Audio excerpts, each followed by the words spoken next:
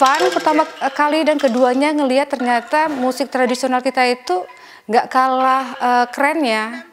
Mungkin kalau waktu saya di Indonesia dulu kayaknya nggak begitu menarik pas kita keluar dari Indonesia ternyata musik-musik kayak gamelan yang kita jarang dengar lebih uh, menarik dan betul-betul orang lain aja bisa tertarik kenapa kita enggak gitu. Perasaan seperti ini kerap dirasakan diaspora Indonesia yang tinggal jauh dari tanah air. Kerinduan yang dialami Diah Mustika Dewi, diaspora Indonesia di Richmond, Virginia, kemudian dituangkannya dengan mulai mempelajari musik angklung. Bersama diaspora lain yang juga tidak memiliki latar belakang musik, dia berlatih angklung sejak tahun lalu setelah menerima donasi alat musik dari Kedubes RI di Washington DC. Cita Rahmat Nunikhoff adalah pengajar kelompok angklung ini. Kita semua memang tidak ada background musik ya, yeah.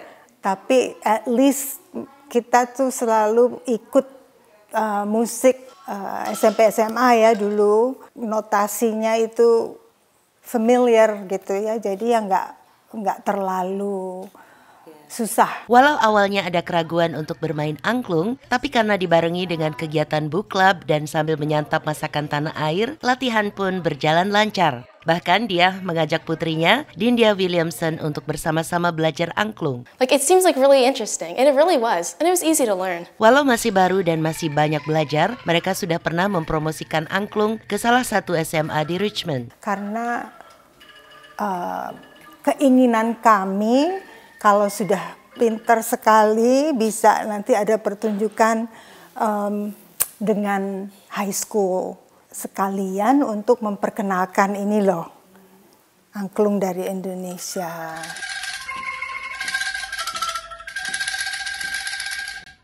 Kini jumlah anggota yang rutin berlatih sekitar 10 orang. Namun Sita berharap dapat menarik lebih banyak anggota dan memperkenalkan angklung ke lebih banyak sekolah di Richmond. Dari Richmond, Virginia, Madeyoni, Nia Iman Santoso, VOA.